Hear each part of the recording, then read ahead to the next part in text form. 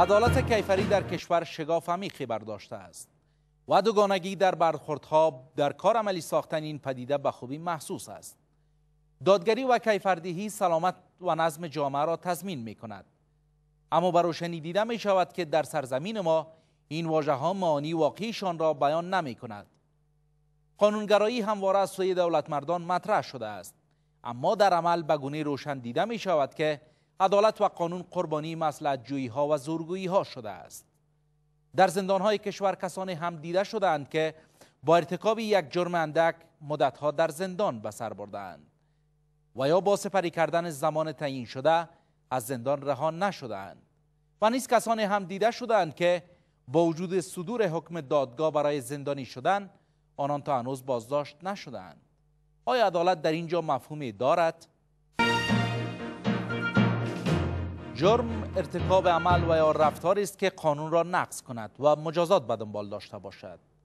قوانین کشور چونی و چندی این عمل را روشن ساختند و برای ارتکاب جرم مجازات پیش بینی می کنند میزان جرم بر بنیاد قانون تفاوت می کند در کیفردیهی مجرمان عدالت یک اصل در نظام های دادگر شناخته می شود در نظامی که عدالت رعایت نشود دادگری در چنین نظام ها مفهومی ندارند. در هر اجتماعی که عدالت نباشه در هر حکومتی که عدالت نباشه هر نوع حکومت که باشه در حقیقت او جنگل است. و نباید در او ساختمان در او دستگاه کسی زندگی کنه. برای که هر کس که زوراور بود ضعیف پایمان می‌کنه برزیمی است که عدالت تامین شوه. دستگاه هایی که وجود آمده دستگاه های قضایی برزیمی که قضاوت بکنن. و عدالت در اجتماع پیاده بکنن هر دولت دارای سه جزء عمده و اساسی می باشه که او را ما خطاب کرده می‌تونیم دولت است که او قلمرو است نفوس است و حاکمیت است. یک دولتی که هر جزء از اجزا را که تشریح کردیم اگر در خود نداشته باشه مشروعیتش تحت سوال قرار می‌گیره. یعنی ما او را گفته نمی‌تونیم که یک نظام است که حاکم است بالای تمام قلمرو و نفوس. مرحله های رسیدگی به یک عمل جرمی در قوانین کشور مشخص شدند. رسیدگی به جرایم و روند عدالت از مرحله کشف تا تحقیق تعقیب عدلی و مجازات در قوانین کشور مشخص شده است. اما به نظر می رسد که در بسیاری از موارد در این زمینه قانون عملی نمی شود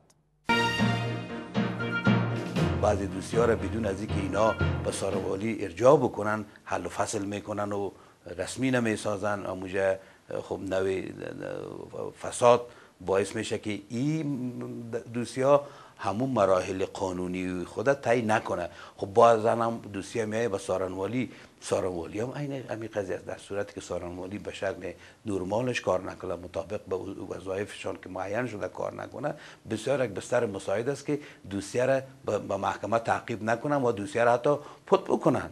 و این قضایا بوده در اکثر سارن ادارات سارنوالی که خب امروز همه شکایت دارن و ما هم دقیقا از اجراعاتی که در اکثریت ادارات سارنوالی صورت می‌گیره ما, ما نگرانی داریم و ما در پای اصلاح ازی هستیم. اگر خداوند بخواه به ما توفیق بده به عنوان کمیسیون عدلی و قضایی کار بکنیم.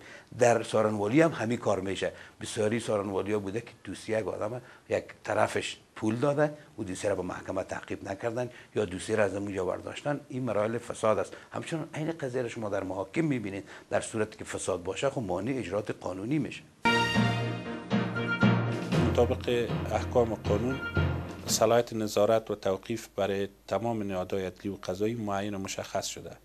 برای پلیس سه روز است و برای سارنوال جمع سه روز یعنی مجموعا سی روز و در محکمه ابتدایی دو ماه. محکمه سیناف هم دو ماه و محکمه تمیز پنج ماه که جمعا در میاد ده ماه باید سرنوشت یک متهم معلوم شود که آخرین میاد توقیف یک متهم است. به نظر من علت های مختلف در این است. خب بیشترین علل بیتفاوتی بعضا افراد اشخاص نادای دی و قضایی فساد در این موضوعات و مسئلت های سیاسی هم در این نیافته است و شاید عوامل دیگه هم داشته باشه که به صورت درست پرونده های مزنونین و متهمین به شوی درستش در نهادهای عدلی و قضایی مورد تعقیب قرار نمی‌گیرد. از لحاظ قوانین میکانیزما و مقررات عدالت جزایی در افغانستان خوشبختانه افغانستان هم از جمله کشورهایی است که قوانین بسیار پیشرفته در این زمینه داره. و با در نظر داشت معیارهای بین‌المللی حقوق بشر با در نظر داشت معیارهای عدالت و اصول انصاف این قوانین و مقررات در روی کاغذ وجود داره. ولی متاسفانه در رابطه با تطبیق عدالت جزایی در افغانستان به او ترتیبی که بتانه با جرم به صورت معصر مبارزه بکنه در رابطه با ریشه یابی علل و عوامل جرم معصر واقع شوه و مبارزه بکنه با ایجاد یا با تدوین یک سیاست جنایی مناسب در تمام عرصه ها تا بتونه به صورت معصر هم عدالت تطبیق شوه هم با جرم و پدیده مجرمیت مبارزه صورت بگیره. در رابطه با اقدامات عملی در زمینه متاسفانه مشکلات وجود عدالت و عملی شدن قانون برای تنظیم جامعه در نظر گرفته شده است. هرگاه عدالت زیر پا گردد فاصله میان مردم و دولت بیشتر خواهد شد. در مجازات مجرمان و نیز در بخش روند رسیدگی به عدالت در زندانهای کشور این اصل در نظر گرفتن نشده است. در زندانهای کشور کسانی هم بودند که با جرمهای اندک و یا اتهام به ارتکاب جرم مدتها در بیسرنوشتی در زندانهای کشور به سر بردند یک شخص است مزنون است به یک جرمی که حبس از او به اساس قانون جزا امکان داره سه ماه باشه. اما این شخص چهار ماه در توقیف سپری می‌کنه تا دوسیش به محکمه میره و زمانی که در محکمه هم دوسیه مواصلت می‌کنه تا زمانی که نوبت از این می‌رسه شاید یک میاد بگذرانه و بعدا این محکوم میشه و سه ماه حبس در حال که چهار ماه سپری کرده. و ایست که شخص بالکل بیگناه می باشه اکثریت قضایی رو می‌بینیم که شخص تا زمان محکمه دوسیش مواصلت می‌کنه و بعد اونو براعت می‌گیره. یعنی یک شخص بیگناه خود نشان دهید که سه ماه چهار ماه پنج ماه رو در زندان سپری کرده اما در اخیر محکمه در قسمت از او فیصله می‌کنه که بیگناه است بچه هم بندیست تو؟ بله بچه بچه فرار منزل هستم. دو نیم سال. دختر داماتم برده بود. مرا در دختر خود ما رفتم آوردم سر ما گفت یام بود اختطاف. دختر او اختطاف کرده بود. دوازده سال قیت ما کشید. دو سال دو مره تیر کردیم. منوز برابر نیستیم دو سال قید کشید اون نفره که دختر گفته بود.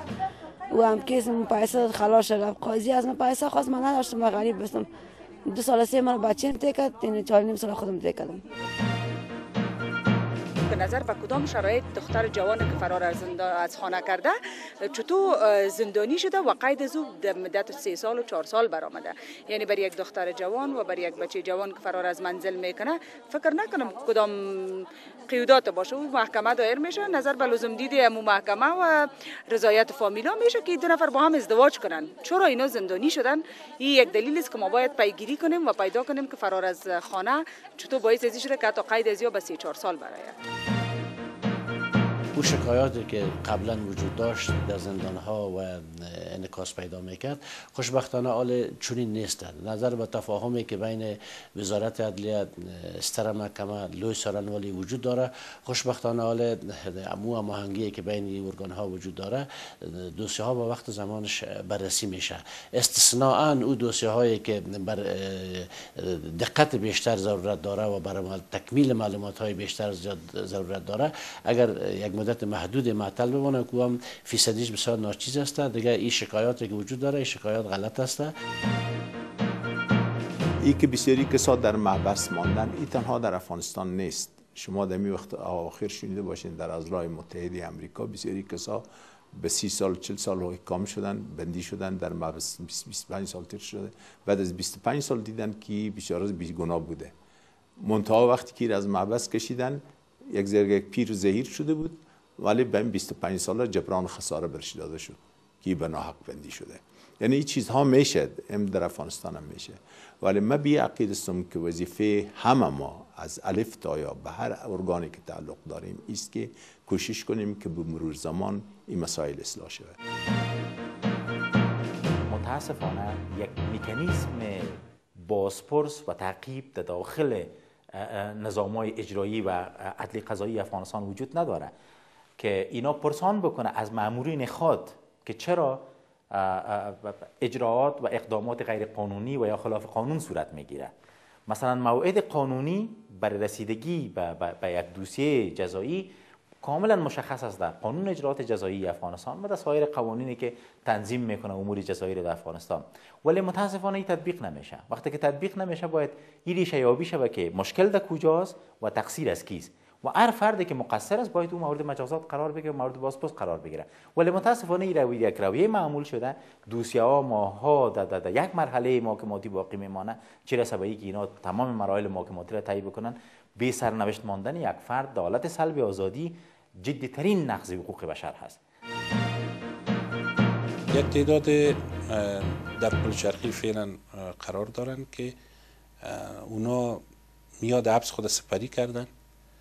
فرزن به جزای نقدی اونا محکوم شدن و اونا رها نمیشن به خاطر که اونا باید جزای نقدی خود بپردازن. در حالی که وضع اقتصاد از اونا خراب و اونا قدرت پرداخت و جزای نقدی را ندارن. بنان در حالی که خود جزای نقدی هم به نوع مقروض بودن از او نشان میتن نسبت به دولت که به اساس ماده قانون اساسی که میگه مدیون بودن موجب سلب آزادی نمیشه. اما روی دیگر سکه حکایت متفاوتی دارد. باورهایی وجود دارند که دولت در شناسایی متهمانی که در رده های بالایی قرار دارند آسانگیر و بیپروا بوده است و حتی تلاش برای شناسایی و پیگرد چنین افراد صورت نمی‌گیرد. از سوی دیگر برخی از مقام های دولتی و زورمندانی که مورد پیگرد قرار گرفتند و حتی دادگاه برایشان حکم زندان صادر کرده است یا مقام های دولت از آنان پشتیبانی کردند و یا ظاهرا چنگال قانون با آنان نمی رسد آیا براسی دولت در برابر چنین افراد ناتوان است؟ با جناب معاون سیبلوی سارونوال در یکی از کمیسیون های ولیسی بودم. مرم تکان داد وقتی که او گفت که ما یکی معین می‌خواستیم بندی کنیم و نتانستیم بندی کنیم. ما بی عقید استم حکومتی که ناتوانی خود میگه که ما نتانستیم یک آدمی سرکشی را بندی کنیم. ای باید واقعا در مسائل تجدید نظر شود. تجدید نظر به این معنا شود که ما اینطور فکر بکنیم که قانون از همه کده قوی تر است از همه کده برازنتر است. چی خورد است چی کلان چی قوی است چی ضعیف. باید رول قانون قبول بکنن بر خودم تطبیق کنن و تطبیق شه گرام توضیح کنن. هر دو مورد ضعف حاکمیت قانون و ضعف عدالت را در افغانستان نشان میده. مجریای قانون و تطبیق کنندای عدالت بدون در نظر داشتی که فرد در کدام موقف و موقعیت قرار داره باید عدالت را و قانونیت را بالای مردم تطبیق بکنه. هم او فردی که ماها بدون سرنوشت داخل زندان میماند عدالت سلبی آزادی. در موردی از او عدالت نقض شده و انصاف نقض شده باید دولت افغانستان و به خصوص مامورینی که به اثر اجراعات غیر قانونی از اینای افراد در زندان مدت های زیادی را سپری می‌کنند باید مورد بازپرس قرار بگیرند. و اینا باید جواب بتن از عمل خود. در پلی از او زمانی که مجریای قانون نمی‌تونن زورمندا را به چنگال قانون بسپارند باید در این رابطه هم جوابگوی باشند چرا؟ ما پلیس ملی داریم در افغانستان که یعنی دولت نهاد است که به صورت مشروع می‌تونه از قوه قهریه استفاده بکنه از اسلحه استفاده بکنه از نیروهای مسلح خود استفاده بکنه. این نیروهای مسلح به خاطر تامین امنیت تامین ثبات حاکمیت قانون و تطبیق عدالت از افغانستان. زمانی که یک فرد متهم میشه و قانون باید سلب آزادی شود زمانی که یک فرد محکوم علیه قرار می‌گیره به اساس حکم محکمه با صلاحیت که ای باید سلب آزادی شود این مکلفیت دولت افغانستان است که اونا را سلب آزادی بکنه و مجازات را که قانون برای از پیش بینی کرده و محکمه در او رابطه حکم کرده او را بالاش تطبیق بکنه. در غیر از او من فکر می‌کنم که مشکلات زیاد دیگری در افغانستان ایجاد می‌کنه. قانون طور یکسان از گدای لاشا به یک شیوه تطبیق میشه. در افغانستان ما بعضا مشکلات وجود داره. بعضا دانشمندای حقوق حتی خود قانون هم میگن که به مسابقه تار انکبوت است که صرف پشه و مگس و یا حشرات بسیار خرد در چنگال از باقی میمونه. اما حشرات قوی در جال بند نمیمانند. که خود نشان از که در یک اجتماعی که حاکمیت قانون صد درصد حاکم نباشه یعنی همه افراد جامعه از رده های بالایی الا رده های پایینی. قانون محترم نشمارن و قانون بالاتر از خود فکر نکنن. همچون مشکلات ایجاد میشه که در ریسه زورمندان قانون به صورت درستش تطبیق نمیشه و در ریسه افراد اشخاصی که قدرت و زور دولتی ندارن بالای از و صد درصد تو قانون تطبیق میشه. چنین کسا را ما سراغ نداریم. اتو بعضا اتر شده که مثلا فیصله در موردشان صورت گرفته محکمه اولش. ولی در محکمه دوم هم باید بروه تا تا بر رفتن اسنادش به محکمه دوم ممکن یک چهار روز در روز پنج روزی ناوقتر به محکمه به زندان برسه یا به توقیف خانه هستن او امر توقیفیش داده شده. ای تو کسی که سرش فیصله شده باشه و در زندان نامده باشه چون این کسی ما ندانیم که اسنادش به ما آمده باشه ولی زندانی نامده باشه. و اگر اسناد زندانی میایه که فلانه به سر حکم صادر شده و این زندانی هست تا که نفر خودش نبه ما او اسنادش نمی‌گیریم. تا جایی که به کمیسیون ما ببخشیم به ریاست ما تعلق داشته اکثرا این کار شده روان کردن. خب بعضی همونطور که پریروز معاون سبه سارنوال سبه مبارزه با فساد اداری گفت بعضی دوسیه ها خلاهایی داره که باید این خلاها پر شوه. یا به بعضی دوسیهایی که از این جروان شده سطحی نگریسته شده و از او خاطر اونا مجبور شدن یا حفظ کنن یا رد کنن که ما به تفاهم دارم از وظایفشان است که باید این کارا رو بکنن. ولی در مقابل بعضی دوسیه های هم هست که اشخاص بسیار قوی دی داخل هستند ما امیدوار هستم که اونا درست تعقیب قانونی شود چرا اگر قوی رو نگرفتیم بازمو خلاف امو حدیث رسول اکرم صلی الله علیه و مثل یکی از علما شنیدم که گفتید نشوه که یک وقتی مرغ دزد شما مجازات کنین دستش ببرین و شتر دزد بگین برو. پشت کارت. خدافظ نوش جانت. در صورتی که در مرکز ما اینو نتانن که یک شخص به پنجی قانون بسپارن.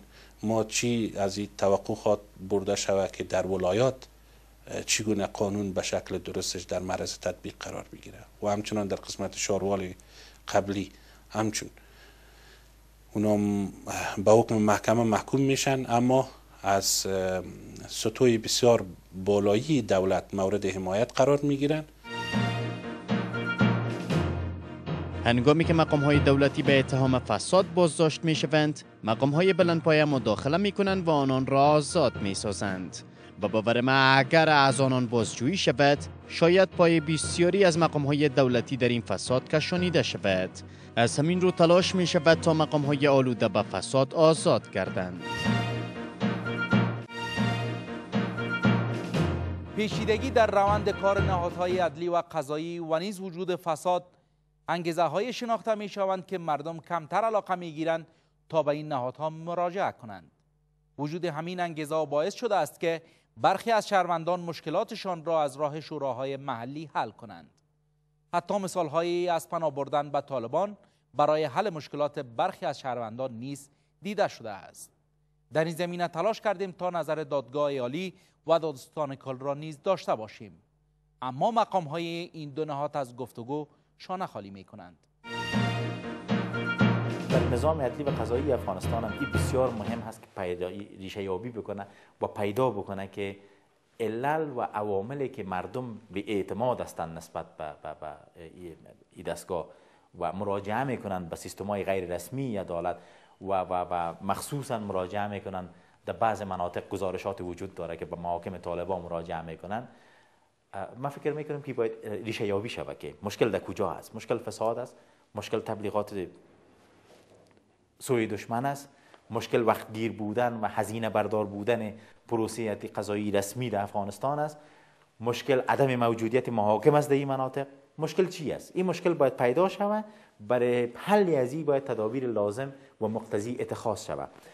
به خاطر از اینکه زمانی که یک دولت نتانه شاید دولت ها نتانه بسیاری از خدمات ارائه کنه شاید منابعشان کم باشه شاید محدودیت های وجود داشته باشه شاید مشکلاتی وجود داشته باشه ولی یک دولت ماهیت و فطرت یک دولتی است که چگونه عدالت را برای مردم برمغان میاره ولی زمانی که دولت نتونه عدالت را تامین بکنه دولت نتونه قانون را تطبیق بکنه چیزی به نام دولت وجود نداره. من فکر می‌کنم ماهیت وجودی و فلسفه وجودی یک دولت مسئله تامین عدالت هست. و شما در تمام دنیا که ببینید مسئله تامین عدالت و قضاوت هنوز به بخش خصوصی واگذار نشده. به خاطر از اینکه از مسئولیت های تام و تمام حکومت ها است بسیار زود تلاش صورت می‌گیره روی سفیدا اربابا یا مردم که قضیه را رسمی نزدن به دولت نندازن. بین خود میشینن در در سیستم حقوقی سنتی را حل می‌کنن. و این بیشتر به خاطر عزیز که میگه وقتی تو به های عدلی و قضایی مراجعه بکنی آنقدر بحث رشوت و استفاده جویی هست که امو قضیه به سالها خلاص آمده میشه و هر دو طرف زله می‌کنه و از هر دو طرف هم پول گرفته میشه. بنان مردم مراجعه نمی‌کنه. بر بنیاد قانون اساسی رئیس جمهور صلاحیت عفو و بخشش مجازات را دارد. اما میار و محک استفاده از این صلاحیت توسط رئیس جمهور تردیدهای جدی را مطرح نموده است. در سالهای اخیر در میان کسانی که به دستور رئیس جمهور آزاد شدند فرماندهان طالبان قاچاقبران مواد مخدر و حتی کسانی که بر یک زن تجاوز کرده بودند نیز آزاد شدند. در برخی از موارد آن فرماندهان طالبان که به حکم رئیس جمهور آزاد شدند در برابر دولت قرار گرفتند و درد سر تازه نیست به دولت ساختند. به اساس قانون اساسی افغانستان هم این مثلا برای جمهوری افغانستان داده شده. ولی در اونجا قید وجود داره مطابق قانون. من فکر می‌کنم که در این رابطه باید او کسایی که فرامین عفو را ترتیب می‌کنن باید قوانین و مقررات در نظر بگیرن مسائل مربوط به عدالت و انصاف را در نظر بگیرن حقوق و آزادی های دیگران را در نظر بگیرن که چگونه از اینمی صلاحیت عفو و تخفیف مجازات داره که رئیس جمهور افغانستان داره به نفع عدالت و به نفع انصاف از این استفاده صورت بگیره. در رابطه به اون مجرمینی از این از از حق استفاده صورت بگیره که اونا کاملا اصلاح شدن دیگه. دیگر به صورت یک فرد مفید می‌تونن به جامعه تقدیم شوند. دیگه خطر بر اجتماع نیستن. دیگر نگرانی و تشویش را در بین مردم افغانستان ایجاد نمی‌کنن. دیگه به او کسایی که اثر جرایم از اینا متضرر شدن یا قربانی هستند دیگه بر از اونا خطر متوجه نیست. شاید شما از جناب رئیس جمهور اگر پرسان بکنید میره چرا کردی؟ میگه بنابر مسئله نظام. مثلا یک تعداد از قاچاقبرای مواد مخدر که رها می‌کنه دلیلش چیست که یک تعداد زیاد مافیای مواد مخدر در افغانستان وجود داره و قدرتمند هستن و پایگاه اجتماعی متاسفانه دارن. بنان وقتی بر رئیس جمهور مراجعه می‌کنن مردم یک یک ولایت یک منطقه یک ولسوالی ریش سفیدا کاغذا را میارن طبعا رئیس جمهور هم از این صلاحیت خود و از این رفعت که داره استفاده می‌کنه. خب او را رها می‌کنه. خب شاید در بخش مواد مخدر هم این کارا صورت گرفت. ولی خب یک تعداد از جنایتکارهای بسیار بزرگ رها کرده. که مثلا ملا دستگیر یکی بود در ولایت بادغیس متاسفانه که یک تعداد به نام موی سفید و ری سفید آمدن و شفاعتی از او کردن. شما دیدین که بعض او خلاص شد بزرگترین حمله را بارای نیروهای پلیس ما و اردی ما کرد و تعداد زیاد تلفات به همراه داشت. هر زمانی که ما مسئله مصلحت را وارد عدالت کردیم دیگه برای عدالت چیزی باقی نمیمونه. و در همون صورت است که ما هر روز شاهد جرایم بیشتر خود بودیم هر روز شاهد گسترده شدن دامنه فسق و فساد و قانون گریزی و, و قانون ستیزی در کشور بیشتر خواهد شد. ولی باز ما تاکید می‌کنم که عدالت مصلحت بردار نیست و, و, و شما می‌تونید هر مسئله دیگه مصالح را در نظر بگیرین. عدالت مصلحت را نمی‌شناسه در فرایند گذار از یک جامعه ناهنجار به سوی یک جامعه دادگر و قانونشناس نمی‌تواند عدالت را نادیده گرفت. واژه عدالت در نظام کنونی بیشتر از سوی دولت مردان به کار رفته است. اما در کار عملی ساختن آن به ندرت گامی برداشته شده است. هرچند دولت مردان هم از قانونگرای سخن گفتند اما آیا نظامی که قانون بیشتر بر لایه های پایین جامعه عملی شود این نظام قانونگرا خواهد بود؟ در حال حاضر نیز به نظر می رسد که در بسیاری از موارد تسامو، امتیازدهی ها و مثل جویی ها جای عدالت را گرفتند و روشن نیست که چه زمانی عدالت مفهوم واقعیش را در کشور پیدا خواهد کرد. تا برنامه دیگر بدید